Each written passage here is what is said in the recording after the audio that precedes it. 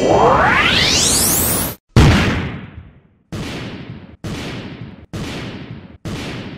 what's going on you guys? It's your man James aka JP back again with another Toy Room review and today we're going to be taking a look at the Funko Pop Michael Jordan Fanatics exclusive version. So I've been on the hunt for this one for a while. I finally snagged it on eBay for about $25, which isn't too bad for this figure. He was going for way more when he first came out. So like I said, this is a Fanatics exclusive, and Fanatics is basically just like an online sports website where they sell just clothes and accessories and just everything sports related. So that it was pretty cool to see that they collabed with Funko to bring out this version of Michael Jordan. So the box is pretty basic. You just have the regular stuff here. My box is pretty scuffed up as you can see right here but I didn't really care I knew that going into buying it on eBay I'm not a big inbox collector so the box really wasn't that big of a deal to me and that's why I got this for a little cheaper than it's been going for lately but you got the Fanatics sticker right there and then you got Michael Jordan here coming to the side you got the same image of Michael Jordan and the background is a basketball which is very nice and then on the back you got the same exact thing on the side you got Michael Jordan and the NBA logo and then on the top you have Michael Jordan right there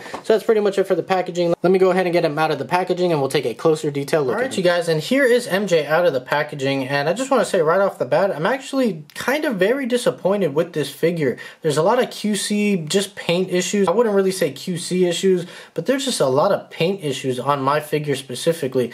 Uh, so let's just go ahead and get into it. So you have the head sculpt right here, and let me just move the camera back. I don't know, there, you can see right here, you have like these weird lines just in the face, and it, it goes throughout most of the head. It's kind of hard to see on camera, but you can see like these just spots and whatnot. It's very weird. Not really sure exactly what it is. But you can see that all throughout the figure, but mainly right here on the front of the figure. I don't know what this weird line is. And you can only see it in, you know, certain angles when the light hits it, but still not really sure what that's about. But other than the head sculpt, I mean, we saw this head sculpt already with the standard Michael Jordan figure, so nothing new there. Uh, then coming to the actual jersey, it's kind of hard to see because his head is casting a huge shadow. Let's just move the head back and kind of bring the light in just a little bit closer. Still very hard to see, uh, but he has the black alternate jersey here. Let me move this light.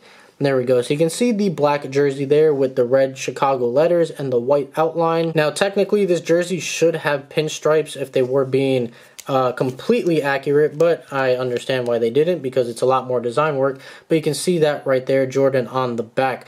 And now, uh, one major issue with this one and the Target exclusive is that he has a V-neck. Uh, Michael Jordan does not have or the NBA just doesn't have V-neck jerseys, so I don't know why they did that with this and the Target exclusive version. On the regular version, he has a regular round neck, but this jersey has a V-neck.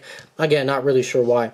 Uh, great details on the basketball here, and they have all those individual little bumps sculpted in for the grip of the basketball, so that is very nice. And down here, he does come with the base. He doesn't really need it. He will stand up on his own, but I figured since it comes with it, might as well use it. Uh, now, he is wearing the Concord 11s. Now, my shoe here has a little bit of a speck right there, but that's something that I can just scrape off. But this one's painted fairly well. This one, as you can see, they completely missed the paint on this half of the shoe. So you can see the paint, the black goes, and then it just stops, and then it's white all the way through. All of that bottom white section should be painted, but not all of it, but like half of that section should be painted black. You can see the sculpt for it right there, that little bump right there in the paint. That's where it should be painted black up to, but as you can see, it just stops halfway on the front. So that is probably the biggest issue for me, and that's really disappointing. I don't know if I, I might take a Sharpie uh, if that'll come out good and just kind of fill that in or maybe just try and get some black paint. But I got to do something because that's very very bothersome for me. Uh, but the rest of the figure is painted pretty decent. You can see there the Chicago Bulls logo on the shorts and other than that, he's a pretty basic figure. So let me go ahead and bring in the original figure so we can go ahead and do a little quick comparison. Okay, and here is the original figure. Now, my figure, I got to get a new one of these because it broke. Uh, there's a stand that plugs into the back of this if you guys haven't seen my original review. And it fell off the shelf and the stand kind of snapped, but part of the stand is still in his back. I tried to glue it back in place and it didn't really work. So I do have to get a new one of these, but luckily these are a lot cheaper uh, since it is a common pop. But you can see the comparison here. Uh, they both have the same exact head sculpt right there. And you see what I was talking about with the jerseys with the round neck on this one and you have a V-neck on this one and the Target exclusive. Again, not sure why they went that route, but they did. But everything else is pretty much the same here. Except for the jerseys. Now, originally I thought this was going to be my favorite one. Uh, just, I don't know, I really like the alternate jerseys and I love the Concords, but there's just something about this one here, that whole flight pose, the just dynamic pose that he's in, and the fact that he is elevated off the ground when his base is not broken like mine is. Uh, this one's actually still my favorite one. I still really like this one, and I'm glad to have it, and I didn't have to pay too much for it, or too much over retail for only $25, and this retails for about $11. So, uh, yeah, I, I don't know. I'm still really, really liking this one. It's just something about that whole flight pose for me that really pushes this one over the top over this All right, you guys, and there's my quick review on the Funko Pop Fanatics exclusive Michael Jordan with the alternate Chicago Bulls jersey and the Concord 11s.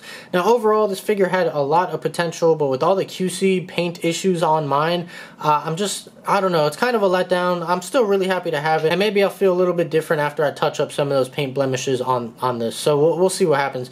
But that's pretty much it for me. I hope you guys enjoyed this video. If you did, make sure you like, comment, and subscribe. Share this video with your friends. Be sure to check out all of my other Funko videos. I have a playlist for you to click on the screen popping up any second. And I'm going to go ahead and get on out of here. So as always, guys, stay tuned for more, and I'll see you guys next time.